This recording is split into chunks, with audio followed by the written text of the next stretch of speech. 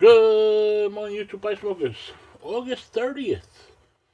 Two days to go and the month's over. Summer's coming to an end. Memorial Day is, or Labor Day is next weekend. Believe it? Where's the time go? Plan some fun. Get involved with a group. If told a secret, keep it. Take off the blinders and find your own information about something you hear about. Hope you have a good week. Hope you have a wonderful weekend. Be well, stay safe, get outside, shut off the news, shut off the TV, as a matter of fact. Turn on the radio and listen to some music. Catch you on the next one.